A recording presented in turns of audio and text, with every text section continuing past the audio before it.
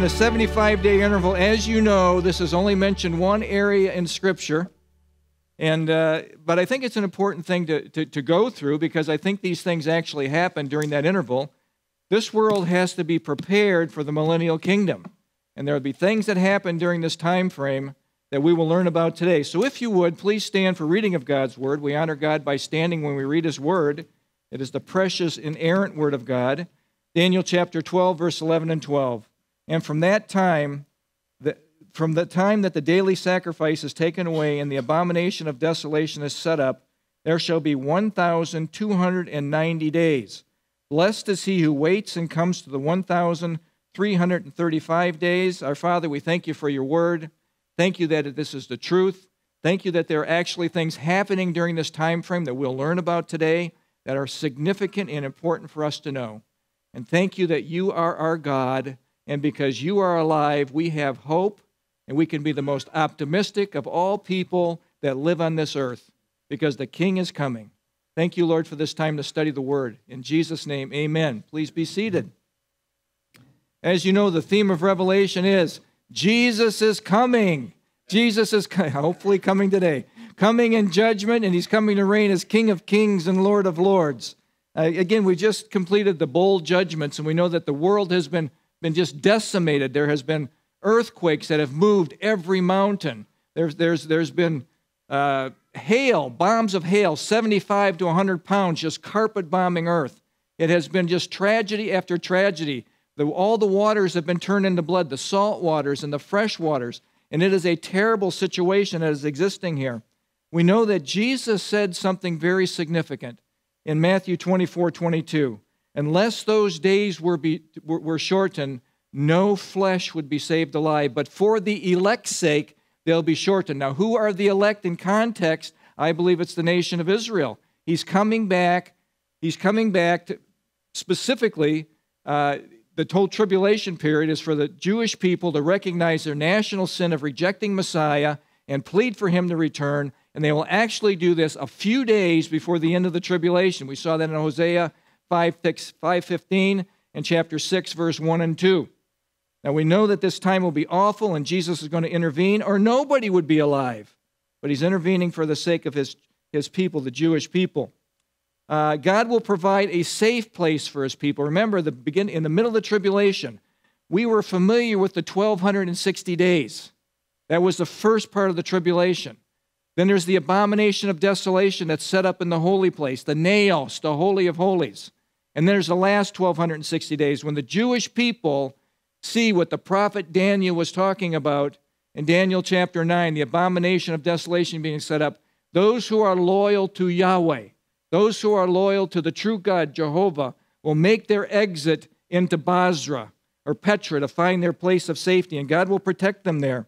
Now, there is a place on this earth that Antichrist will not have uh, jurisdiction over.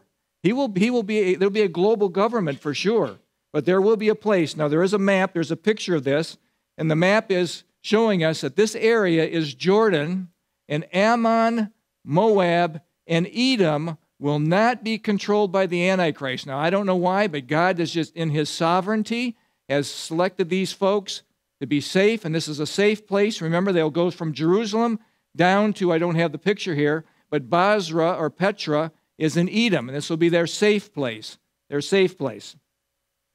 So, with that spoken, uh, we also know that Jesus, when he returns, he will return to Bozrah. That'll be one of the things that he does. Free the remnant, the remnant will believe, and then he'll have his victory ascent up, to, up into Jerusalem, where he'll stand on the Mount of Olives, the mountain will be split in two, and that's when the kingdom will start. And Revelation 11 15 will have come to full fruition.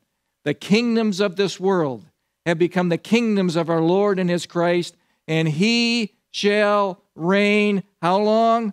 Forever. Forever. That's right. The king is coming, folks. And we're going to talk about the 75 day interval. Now, with the victory secured, the millennial reign of Christ is imminent, but not yet because there's this 75 day interval that has to take place, spoken of by Daniel. So, I would like, uh, uh, would you put up on the screen the next one? Thanks. Uh, Daniel chapter 11, 12 talks about two different time frames. One is 1290, and one is uh, 1335. So I want you, I just put this up here. This is the beginning of the tribulation. This is the first half of the tribulation. This is when the peace treaty is signed between Antichrist and the people of Israel, allows them to build their temple, that sort of thing. That's Daniel 9 27. For 1260 days, Antichrist is coming to power. Remember, he comes by, into power slowly, he comes by deception. By deception. Then we know in the middle of the tribulation, there will be the desecration or the abomination of desolation that occurs. That marks the midpoint, and then the last 1260 days occurs, and then Messiah comes back. Jesus will come back. The 30 day interval we've seen in our text today, and I'll go through again in just a second, it will take this long for the abomination of desolation to be dealt with. And 45 days it'll take the sheep and goat judgments, and several other things will happen during this time frame that we will cover. So that kind of brings you up to speed where we are. So think about what has happened on earth. The earth itself has experienced massive destruction, massive devastation with the bowl judgments, the earthquakes, the hail, and that, that sort of thing. Earth is in terrible shape, and humanity is in terrible shape. And it'll take time to clean up the, clean up the mess, to clean up, it'll be a cleanup effort that will take time. Now, I believe this the restoration of the decimated earth must occur supernaturally. God is going to have to do something to straighten this whole thing out because it will be so devastated that it would never be normal, never be a paradise, never be a millennial kingdom for Jesus to reign unless he did something special. So he will redo the earth. Now, Arnold Fruchtenbaum, in his book, Footsteps of Messiah, is going to give us some steps. So this is ex- excerpted. I was going to say exerted. Excerpted, taken out, I should have said that, from Footsteps of the Messiah. This is his, his listing. Now, several people put this in different order. Some people leave out different spots, but I think Arnold covers this pretty well, so we're going to take his stuff. So, the number one thing that happens is the removal of the abomination of desolation. We read that in Daniel chapter 12, verse 11. I'll read it again and from the time that the daily sacrifice is taken away, that Jewish people will have their temple worship during the tribulation period. They'll be able to worship Messiah, uh, worship God, not Messiah, worship God the way they did in the Old Testament. That'll be restored. The sacrifices will be restored and that sort of thing. But it will be cut off when Antichrist really comes to power. When the wrath of Antichrist really comes, he will then turn on the Jewish people in the middle of the tribulation, insist that everyone take the mark of the beast, that everyone worship him. If you don't, you die. If you don't, you cannot buy or sell or function in this world. The threat is real, and most of the world will cave and follow him in mass. So, we have the removal of the abomination of desolation. And it's the abomination of desolation, again, is the image of the beast. We saw that in 13, 14. The Antichrist will demand worship of the image or die, and he will insist that you take the mark of the beast to buy or sell. And I don't know if I really messed you up with that, Reagan, but I apologize if I did. So, uh, we have learned that Satan, I believe, Satan possesses the Antichrist in the middle of the tribulation. What was the impetus for this? Because in Revelation chapter 12, verse 7, we see that, that Satan instigates a rebellion in heaven. He is then booted out of heaven and thrown to the earth. Heaven rejoices, but it says in that section of Scripture, Woe to the earth, because Satan has been cast down to you. And what does he first do? What's his first one of the one of the first things that he does? He chases the remnant those who are fleeing, those who will not take the mark of the beast, those Jewish people who know that their safe place is in Bozrah, they will flee. And he will chase them as an army chases them. They'll come as a flood to them, it says in that scripture. And then the earth does something magnificent for the protection of God's people. It opens up and swallows up Antichrist armies. And then Satan is infuriated because his army has been swallowed up and these folks have had their escape into Bozrah to their safe place. And then he turns on the, the, the two groups of people the Jews that are loyal to Jehovah, loyal to the true God, and those believers that are tribulation saints. We see that in Revelation 12 17. And the dragon, who is Satan, was enraged with the woman. And remember, we went through all that uh, descriptions of who the woman is and who the, who the dragon is and that sort of thing, who's Israel. And he went to make war with the rest of her offspring. And there's two offspring. Number one is those who keep the commandments of God. These are the ones that were loyal to Yahweh, you're loyal to Jehovah, the Jewish people. And then there's another group and have the testimony of Jesus Christ. Remember, these aren't believers in Messiah yet. They do not believe until the last part of the tribulation. This is the middle of the tribulation. They make their escape, and at the last part, last few days, they will then believe that Jesus is the Messiah. We went through that information. So, the tribulation saints will be a target, the Jewish people will be a target. So, we've learned that. Now, this abomination of desolation is pretty amazing. It will mesmerize the world. Remember, it will speak. It will speak. It will actually like come to life and it'll breathe. And there's an insistence that you worship this, this image, take the mark of the beast, or you are doomed. Now, God, in his graciousness, God, in his favor to humanity, in Revelation chapter 14, I don't know if you remember this, sends out three angels. And the first angel has the gospel of the Lord Jesus, and he's circulating through the earth. And all the world will hear the gospel. Every little island, every little people group. It's not happening through CNN or, or, or, or any other media outlet. It is happening by God accomplishing this at the very end with this angel going around. And then a second angel is released and says, Babylon is fallen. Babylon is fallen. Antichrist kingdom is fallen. And then a third angel says this in Revelation 14:10. If anyone, this is a huge warning, if anyone worships the beast in his image and receives his mark on his forehead or on his hand, he himself shall also drink of the wine of the wrath of God. And I don't know if you remember this, but that wrath is thumos. And that is an outburst of wrath, violent, passionate anger that God will have at that point, which is pulled out, poured out full strength, full strength into the cup of his indignation. That's wrath orge. That's a controlled wrath. He shall be tormented with fire and brimstone in the presence of the holy angels and in the presence of the Lamb. Anyone who takes the mark of the beast is doomed and will end up in the lake of fire. So that's a great impetus for humanity, at least for believers, not to take the mark no matter what kind of torture comes your way.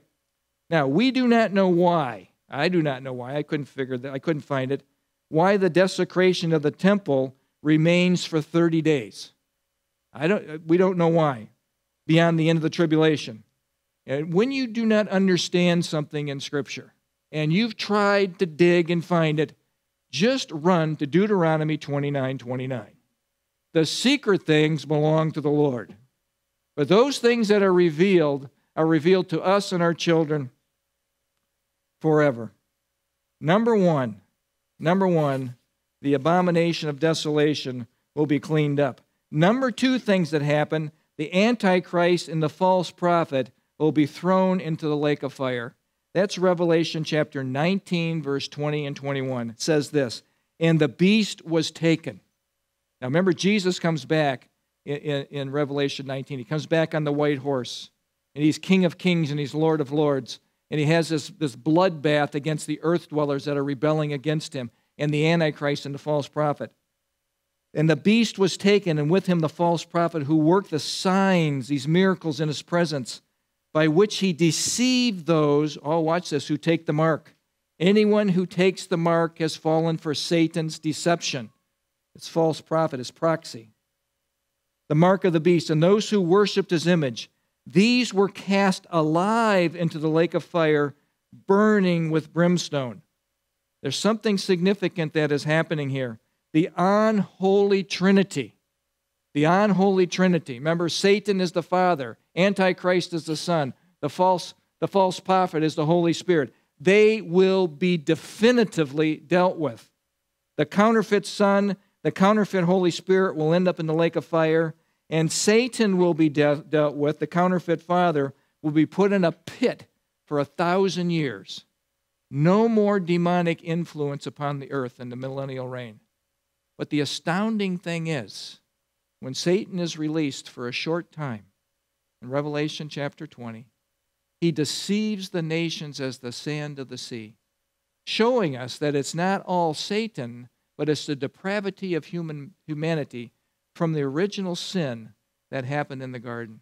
We are depraved and need a Savior. So, more on that a little later. Now, we're going to talk about, just a second, I want to take a little segue here, talking about Satan's abodes. Where does Satan dwell? Well, his abodes are where he lived in the past, present, and future. And we know that in the past, he was the anointed cherub. He stood before the, before the, before, before the throne of God. And, I, and many believe that he was the worship leader, and he was the one that, that led that whole thing. He was the one that was most perfect and most powerful of all God's creation. And we pick that up in Ezekiel chapter 28, verse 14. You were the anointed cherub who covers the throne. And God says, I established you. You were on the holy mountain of God, talking about the privilege that he had before he fell. You walked back and forth in the midst of the fiery stones. You were perfect in your ways from the day that you were created. He is a created being till iniquity was found in you. And then he says in verse 16, Therefore I cast you as a profane thing out of the mountain of God. I destroyed you, O covering cherub. And he says, verse 17, Your heart was lifted up because of your beauty. You corrupted your wisdom for the sake of your splendor. I cast you to the ground. That is what has happened to Satan. His first abode in the past was before the throne of God. Where he lives now, where he lives now, his second abode presently is the atmospheric heavens. How do I know that? Am I making this up? no, no, I'm not making up. Ephesians chapter 2 says this that he's called the prince and the power of the air. The prince and the power of the air. Ephesians 6:12, it's our it's our spiritual warfare scripture. We wrestle not against flesh and blood, but against principalities and powers, against the rulers of darkness of this age, against spiritual host, angelic, demonic, angelic armies of wickedness in the heavenly places. The heavenly places. His domain now is in the atmospheric heavens. However, he has access to two places. He has access to heaven when summoned by God. Job chapter 1, verse 6. Only when he's summoned by God, he has to give an account of himself. But he also has access to earth. And when he comes to earth, he comes in one of two ways. He either comes as a roaring lion, seeking whom he may devour in 1 Peter 5 8, or he will come as an angel of light, seeking whom he may deceive. Now, you look uh, uh, at the rest of our world. If you look in the 1040 window in the Islamic countries, or you look at where, where communism just abounds, millions and millions and millions of people have been killed by atheistic communism. He comes as a roaring lion. America has enjoyed the privilege of worshiping the true God, at least for a time. We don't worship him anymore. We've kicked God out of our country. And now the angel of light, with his deception, is here in mass in the West. And people are falling for the deception in, in droves. His third abode in the future will be the earth. He'll be booted back to earth, kicked out of heaven. That was Revelation 12 7. His fourth abode will be the bottomless pit. That's Revelation chapter 20, verse 1 through 3. And the interesting thing there is one, one messenger angel with the exousia, with the authority of God, binds him and throws him into a pit for a thousand years. And then we know his fifth abode, he'll be released to deceive the nations. And everybody wonders, and I bet you wonder this why in the world was he released to deceive the nations? Well, remember, all these people that have gone into the millennial reign have children. They are all saved, but they have children. Those children have to be saved. Those children have to be tested, like all of us were, with evil. We have to determine whether we're going to follow God, the true God, or the false God. And that is their time of testing, and He will deceive them. Isn't it amazing? Perfect government, perfect world, perfect environment, everything perfect. And then Satan will deceive so many, and he, they will be dealt with He will put that, re- that rebellion down, and they'll go into the lake of fire. And the sixth abode, again, is the lake of fire, Revelation 20, verse 10. And again, all of those who side with him will be in the lake of fire.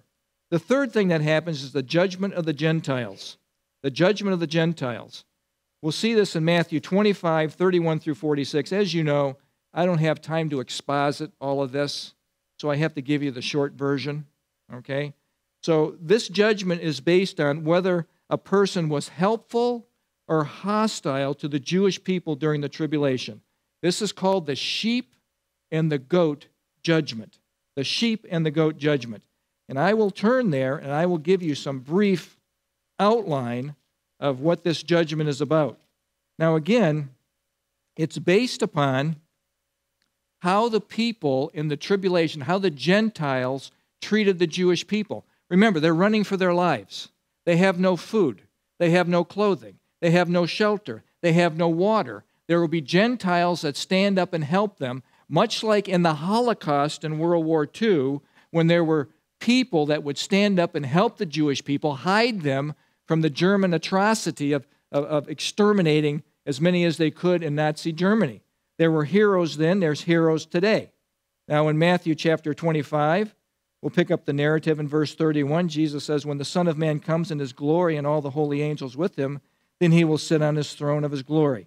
And he will put on his right hand the sheep, and on his left hand the goats. Okay? We, I don't believe we will be involved in this judgment. This is a judgment of the nations.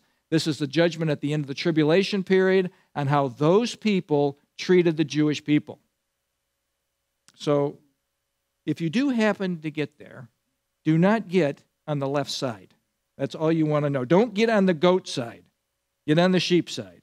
Just kidding. You're going to be wherever he puts you. But so, and this, this is based upon. They're wondering what is this based on. In verse 35, for I was hungry and you gave me food. I was thirsty and you gave me drink. I was a stranger and you took me in. I was naked, you clothed me. I was sick, you visited me. And I was in prison, you came to me. Let that just settle for just a second. Antichrist will kill, but also Antichrist will imprison during the tribulation period. And I can say that that prison term that you serve there will not be pleasant. Then the righteous will answer, When in the world did we do all these things? And Jesus said in verse 40, And the king will answer and say to them, Assuredly I say to you, inasmuch as you did it to one of the least of the, my brethren, you did it to me. Then he addresses the other group, the goat group. And he will say to those on his left hand, Depart from me, you cursed, verse 41, into everlasting fire prepared for the devil and his angels. Just take a hard stop there hell, the lake of fire, separation from God, was prepared for the devil and his angels, not humanity. God has provided humanity with an escape from that, his son dying on the cross, taking all the wrath of God in their place.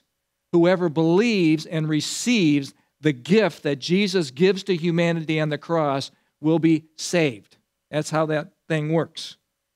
And then they were said, When I was hungry and I gave you, and you were thirsty and all that stuff and naked, you didn't do anything. You didn't do anything.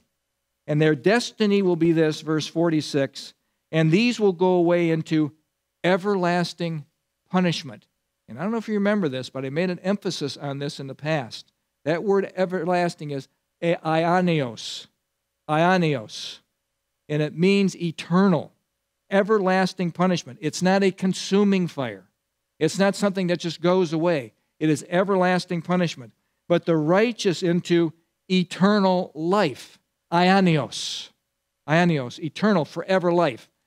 What you do with Jesus Christ here will determine your forever. It's a forever existence. We are all eternal beings.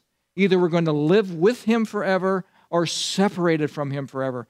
And that is the most tragic thing that I can ever think of because people have rejected and rejected and rejected and rejected probably uh, who knows how many times because I think God is persistent. I think He keeps coming. He keeps coming. But there is a day when it's no more. And He says, okay, you can have what you want. Separation from me. Now, think about this. Again, these people that are supporting, these sheep that are on the, on the right hand, that are doing the, the will of God, how do they possibly do this? They're facing death, they're facing prison themselves, they're facing torture. How do you do that? How do they do it in Nazi Germany in World War II? How do they do it throughout the world today? Because you know, I've already mentioned this many times, that the church today, the true church, the one that really worships the Lord Jesus Christ, is being persecuted now more than ever in the history of the world, and more are dying now than ever through all of time until this time. All the martyrs of the past, there's more dying now than in all the past. That is an astounding number. Now, you have to consider all the Christians that were killed in China. Some people think 30, 40 million Christians died in the Chinese Revolution. We're living in it. We're insulated here, folks. We're insulated. We don't get the news of what's going on with the rest of the world. They don't want to tell you what's going on. You're insulated. How do people stand? Well, let me, let me say this. How do we overcome Satan and his threats of persecution? You know this because Revelation 12:11 has told you.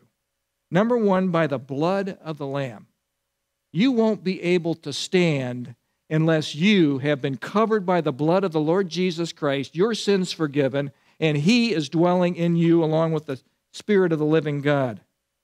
It's Christ in us, our hope of glory. It is not us, it will not be our strength. Secondly, by the word of their testimony. Now, word, your, your testimony is your spoken word. You're speaking the truth. That's what we do today in this culture that has a worldview that is so contrary to the Bible.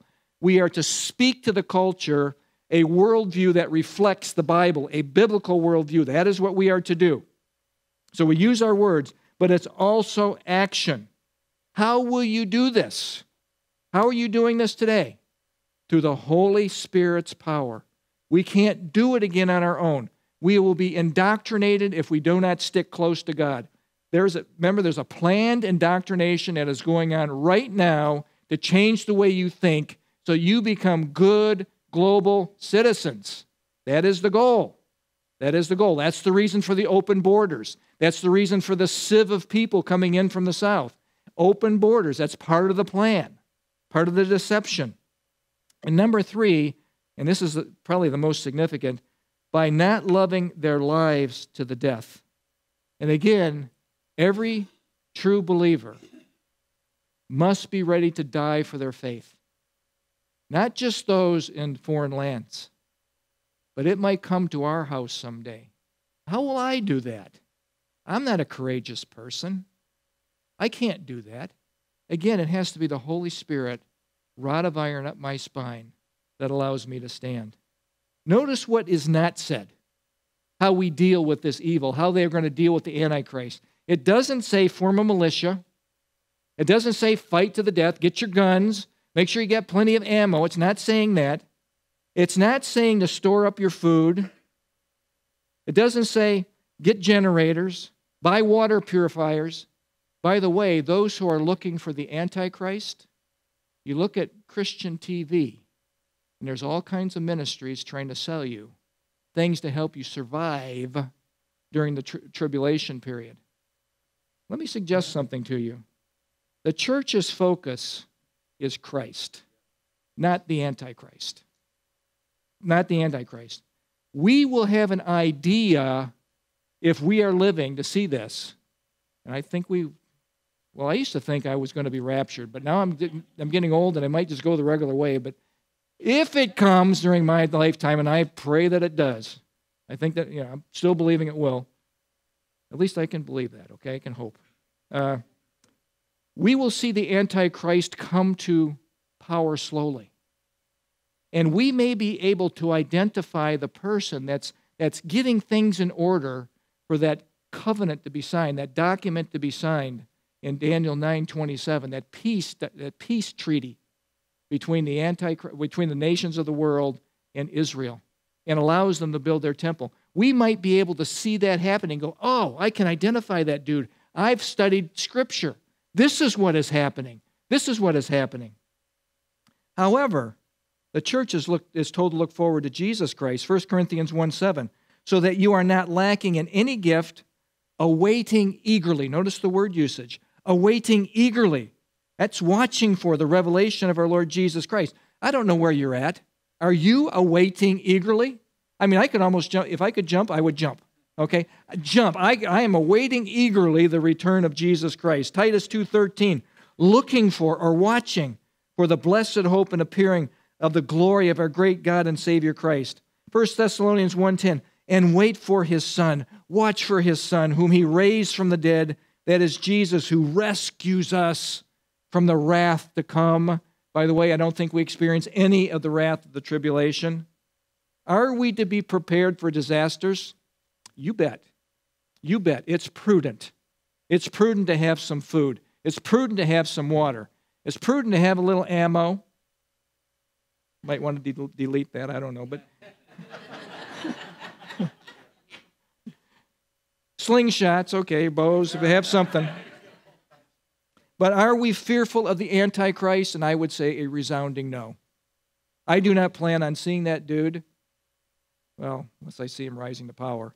But I won't see him in power. And I won't see anything that he puts on this earth. Folks, the church is indebted to the Jewish people.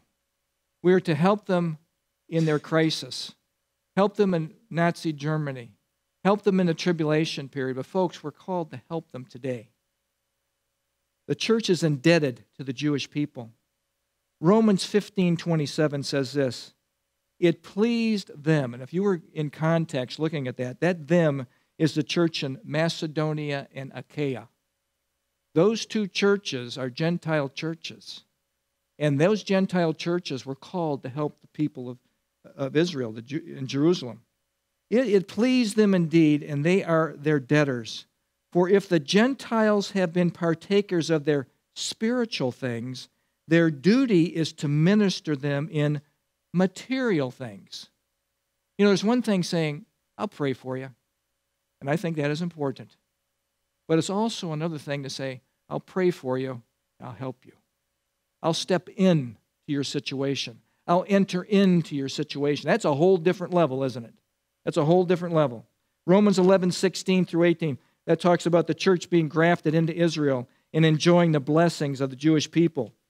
Now, we support a, because of these verses, really, we support a Jewish ministry in Israel.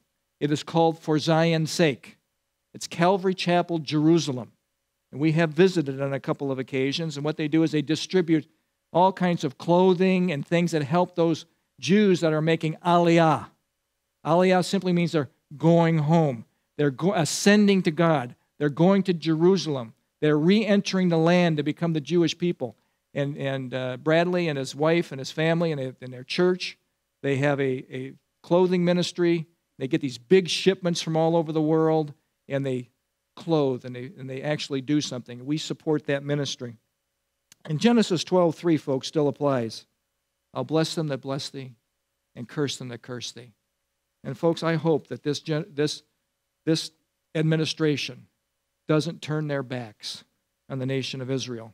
Next thing that happens is the resurrection of the Old Testament saints. That's Daniel chapter 12, verse 2. This is the fourth thing. And many of them that sleep in the dust of the earth shall awake. Is he the Old Testament saints? Some to everlasting life, some to shame and everlasting contempt. You need to know that Israel will have a huge role in the Messianic kingdom, a huge role. All of the Jews on planet Earth will be living in Israel. And I have a picture here of the promise, the promised land. Now, I want you to notice this is Israel today. Notice the land area. Notice this is the Golan the Golan, which Obama, Biden, the world, the United Nations, everyone wants them to give this up. Give this up. That would leave them a little sliver. Now, notice the sliver of land that Israel already has, the size of New Jersey. And they want to take even a bigger gouge out of that, so they are almost defenseless on this narrow border. But notice the promised land. It extends. This is where all the Jews will live. This is where the Messianic, not the Messianic, this, this is where the Jewish people will be ruling. Jesus will be reigning in Jerusalem. He'll be on the throne of David. I think David's going to even be on, on some sort of throne. And the Jewish people are going to be ruling this area. There will be Gentiles that will be ruling in other areas. It's probably going to be you, okay? If you've been faithful to Christ, you're going to remember you're going to have rewards, loss of rewards. I think those are ruling situations throughout the rest of the world. But the focus of the world is going to be Israel. It's going to be Jerusalem. That's where Messiah is going to be. Ezekiel says there's going to be a temple there. There's going to be a temple there. So, the Jewish people will have governmental rule, Deuteronomy 15:6 and Deuteronomy 28:1, if you wanted to look at that. The next thing that happens is the resurrection of the tribulation saints.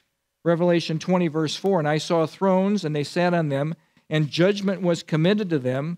Then I saw the souls of those who had been beheaded for their witness to Jesus. Those are the tribulation folks, and for the word of God, who had not worshiped the beast or his image, or had not received his mark on their foreheads or on their hands, and they lived and reigned with Christ for a thousand years. So, church saints, tribulation saints, Old Testament saints will also have some sort of reign, all of them will have some sort of reigning position in the millennial kingdom. Now, I want to take just a moment to discuss something with you. It's called the first resurrection. The first resurrection. It's in Revelation chapter 5 or 20, verses 5 and 6. We're talking about those tribulation saints that were raised up in verse 4. And then says in verse 5, but the rest of the dead did not live again until the thousand years were finished. The rest of the dead are those who will experience the second death, separation from God. Blessed and holy is he who takes part in the first resurrection. That is what we plan on being in. If you're a believer in Jesus, you will be part of the first resurrection. So, the tribulation saint will complete the first resurrection, all to eternal life. Jesus is first. He is first. 1 Corinthians 15 23, Colossians 1 18. The next one is the raptured church. I believe that's us. Okay?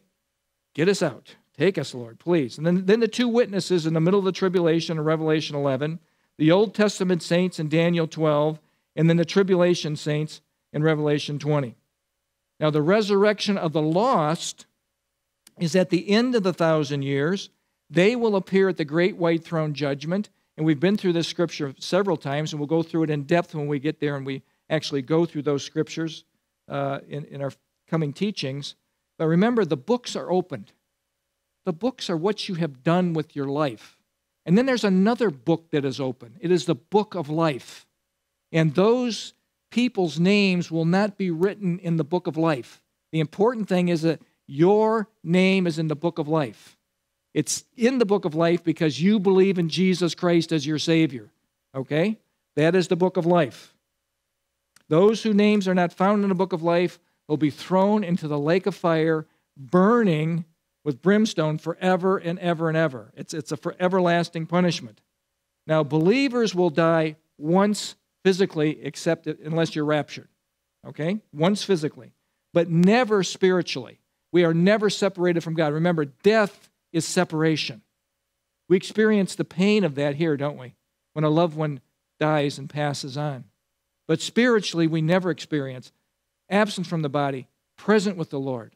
In a moment, in a twinkling, boom, one six billionth of a second, boom, before God. Jesus said in John 11 25, you've heard me say this so many times, it's one of my favorite verses. He's telling Martha, Mary and Martha, remember, Lazarus has died, and why have you delayed Jesus? You could have saved his life, you could have healed him, and he's in the grave, and he's, he's starting to smell, and Jesus shows up, and they're all disturbed. And Jesus says to Martha, said to her, I am the resurrection and the life. He who believes in me will live, even though he dies. And whoever lives and believes in me will never, never, never die. And then he says to, to Martha, Do you believe this, Martha? And he says that to us today. Do you believe that? Yes, I do. That is a, that is a marvelous hope. A marvelous hope. Then the next thing will be the marriage feast that happens in the 75 day interval. That's in Matthew 25, 1 through 13. I don't have time to even go into that, but it actually talks about people having on the right wedding garments, people, uh, people being invited and, and, and, and rejecting the call. And then he sends out other people to bring more people in to the marriage feast. The marriage feast is not the marriage supper. Okay, I'll clarify that in just a second. So, Did you put the marriage supper of the Lamb up? Because I'm might have, well, just bear with me, Reagan. Sorry. I think the first thing that happens after we're raptured, after the church is taken home, after the bride is taken, the first thing on the agenda is the Bema seat judgment, where we receive rewards and loss of rewards. I didn't put it on the tape, on the overhead, because we've covered this most recently. That's 1 Corinthians chapter 3 and 2 Corinthians chapter 5. Okay, you'll find those verses there. The next thing is the marriage supper of the Lamb, and I believe that occurs in heaven after the rapture of the church. Revelation chapter 19, verse 6 through 9. I will read that to you. And I heard, as it were, the voice of a great multitude, and the sound of many waters, and the sound of mighty thunder, saying, Alleluia. For the Lord our God omnipotent reigns. Let us be glad and rejoice and give him glory. For the marriage of the Lamb has come, and his wife has made herself ready. Remember, you are the wife, you are the bride of Christ. And to her it was granted to, to be arrayed in fine linen, clean and bright, for the linen is the righteous acts of the saints. Then he said to, to me, Right, blessed are those, those who are called to the marriage supper of the Lamb. I believe this occurs when we're in heaven. If you are a post tribber, if you are a post tribber, where are you going to fit the marriage supper of the Lamb? Where does it fit into your eschatology? It's hard to stick it in there. It's hard to put it in there. You have to put it on earth. I think it's in heaven. The marriage feast occurs on earth during the 75 day interval. In a Jewish wedding ceremony, remember there's the marriage supper, it is consummated, and then we have the feast. It's a seven day feast that occurs. Kind of goes along with seven years being in heaven after the rapture, doesn't it? I mean, kind of goes along together. So the, the guests are the Old Testament and the New Testament saints. Those are called the friends of the bridegroom. Now, you are the church. What is your status now with Jesus as far as being the bride? You're an engagement period, aren't you? You are the, you are the betrothed. Ephesians chapter 1, verse 14 tells us exactly who we are. Verse 13, I'll start there. In him you were also trusted after you heard the word of truth. That's how you become the bride of Christ. You trusted. You put your trust in Jesus Christ the gospel of your salvation, in whom also having believed, you were sealed with the Holy Spirit of promise. You belong to Jesus Messiah. You are the blood of Christ. You are the bride of Christ, purchased by his blood, who is the guarantee, the down payment, the earnest payment of our inheritance until the redemption of the purchased possession to the praise of his glory. That redemption of the purchased possession is when we're taken to Father's house. The whole thing is complete. The whole thing is complete. The marriage feast, the friends of the bride, the bridegroom attend, the Old Testament saints attend, but the marriage supper is special for you. You are special, the church age. The Old Testament saints participate, but it's the feast. The tribulation saints participate, but it's the feast. You are the church. You are the church of the living God. You are special in his eyes. In closing, the 75 day interval. Now, I don't know what you're experiencing in your life right now. Some people are experiencing some really tough stuff. That's how life is. Some people are coming out of something difficult and things are rising. Some people don't know this, but you're getting ready to go into something tough. You're getting ready to go into a downer time. So that's just that's life on earth. Life is just that way. Remember your dash. We talked about the dash, the time in, your birth date, your time out, your exit date. In between is your dash. What you do for Jesus Christ in your dash is essential. We know that the tribulation will be awful. We know that. Our world is racing towards this at, at, at an amazing pace. The signs of the times are evident. And we, as the bride, we, as the people of God, we who are encouraged to study prophecy, are to have a heads up on what is coming and not taken by, by surprise or be shocked. They are evident. Fortunately, I do not believe that tribulation pain is in our future. The Bible tells us it will be spared from the wrath of God, and I've taken great pains to try to explain why I believe in a pre tribulation rapture. I've attempted to prove this, but again, please let me preface this. There are people that believe in a mid trib, there are people that believe in a pre wrath, there are people that believe in a post trib that are still orthodox in their beliefs. These are brilliant people, many of them, and make, make a strong argument. I believe the pre tribulation rapture has the greatest legs to stand on. None of these views are perfect, but I believe the pre trib view has most evidence, at least for me. So, whether you believe in the other ones, you're still in the family. Just know that, okay? Now, let me suggest this to you. I expect to get I don't expect to experience the wrath of God, but I do expect it to get really bad for the true church. I do expect that. Because you look at the rest of the world and you look at United States, there will be a time when we're not protected anymore. There will be a time because we can't cast God out. You can't kill 60 million babies with impunity, murder them, and think you're going to be blessed. You can't kick God out of your government. You can't kick him out of your schools. You can't kick him out of the church. a lot of churches have just booted him out and worship some form of God that they've made up. You can't do that and be blessed. It's already awful for many in the true church throughout the world. As I said, persecution is rampant. The roaring lion is at work. In America, the angel of light is working, but the roaring lion is getting ready to pounce. Can you feel it? Can you feel it? You know something's changing. Being politically correct is the clarion cry of our day. Not agreeing with what the Bible calls sin is considered hate speech. If you believe this word, you are considered a hater in the eyes of this world. And you, a Bible believing Christian, are looked at as an intolerant bigot. And we've heard those words. It's permeating our country. There is pain and distress and abundance just being here. And we have been sheltered because we have been blessed, because we have worshiped the true God. America and her people have been blessed.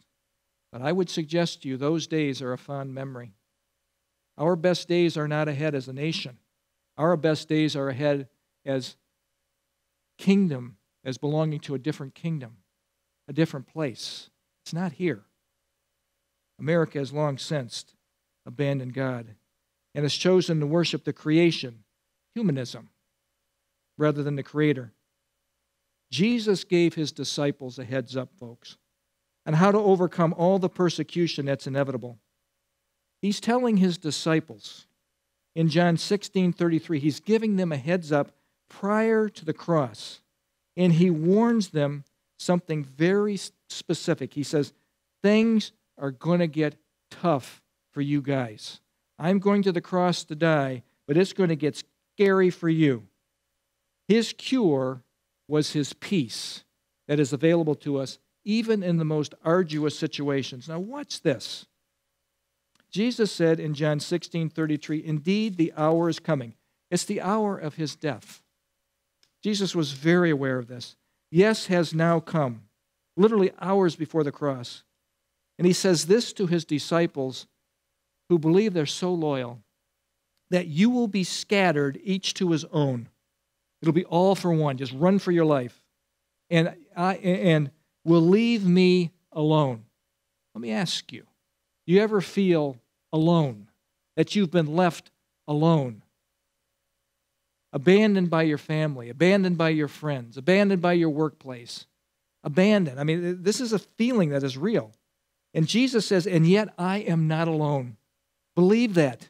Believe that because the Father is with me.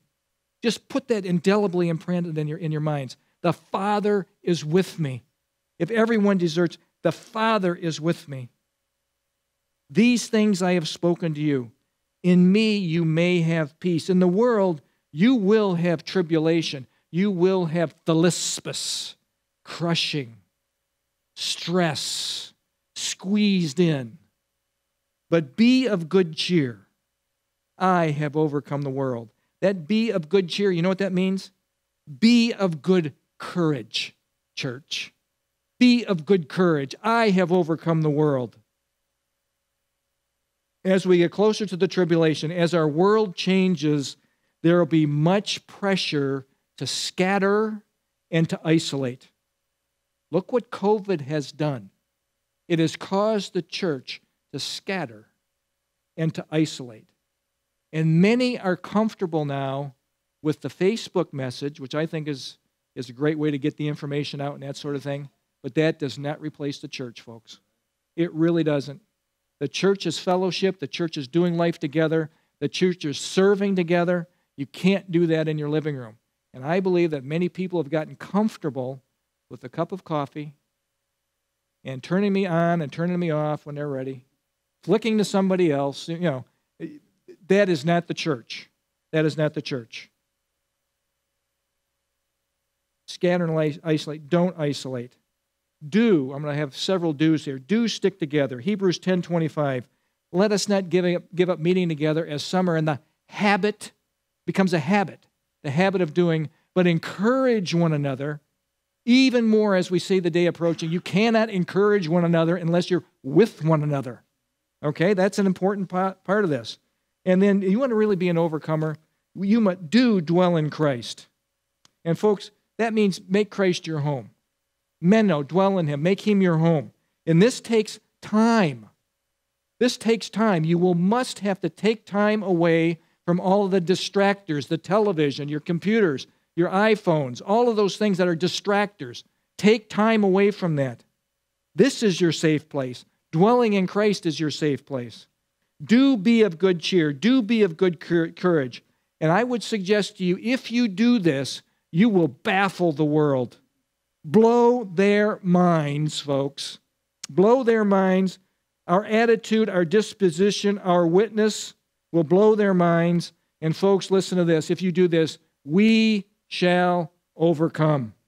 We shall overcome. It's important. And then do tap into Jesus. The Jesus secret is for you. It is for you. The Jesus secret, John 14, 27. Peace I leave with you. My peace I give to you, not as the world gives, do I give to you. Let not your heart be troubled. And hear this do not be afraid. Neither let it be afraid. Don't be afraid. Don't be afraid. Fear not, fear not, fear not. Do choose peace, folks. It is there for us. My peace I give you. Don't allow the world, don't allow your circumstances. It's not easy living in this world. Don't allow those to drag you down. You are of another world. You are of another kingdom, another place.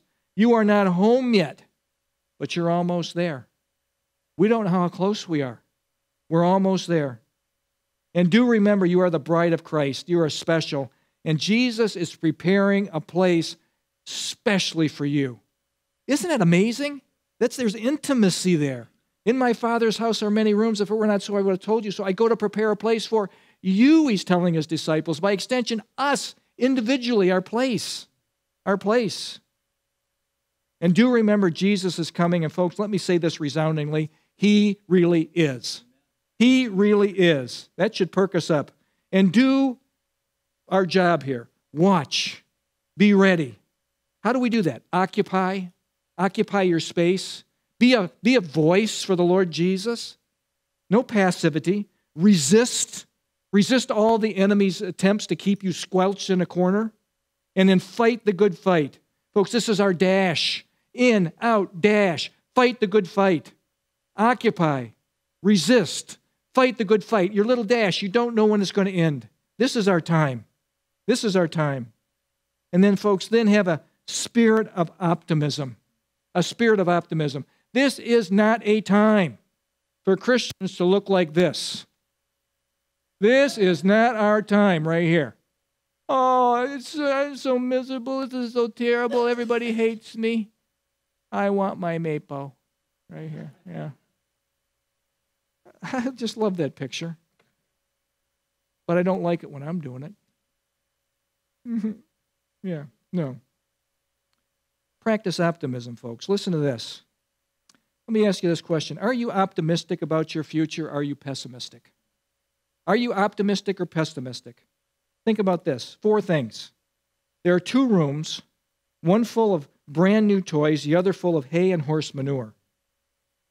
Two children are taken into them, one a pessimist and the other an optimist. The pessimist looks at, looked at the first room, cried out because all the wonderful toys would soon be broken, hasn't touched one. Pessimist. The optimist, on the other hand, is in the other room shoveling. I know there's got to be a horse in here somewhere, he said. That's the optimist, shoveling the poop and finding something good in it. Secondly, somebody has well said that there are only two kinds of people in the world those who wake up in the morning and say this, Good Lord, good morning, Lord. Good morning, Lord. I hope you say that. Good morning, Lord. You are with me today. And there are those who wake up in the morning and say, Good Lord, it's morning. Optimist or pessimist?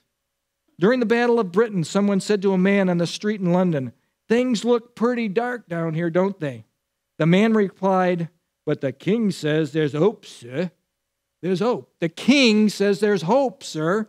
Be an optimist. And finally, a shoe salesman, upon finding out that in his new territory, no one wore shoes, he wrote the company and said, Don't send any shoes. No one here wears them. Another salesman in the same territory wrote the company and said, Send all the shoes you can. Nobody has any. Are you an optimist or are you a pessimist? That is the, that is the, that is the concern. Folks, do practice. This takes practice because it's easy to be a pessimist. It's easy to look at the gloom and the doom. We're living in it all the time. We have to go beyond what we're living in. Practice optimism. The king is coming.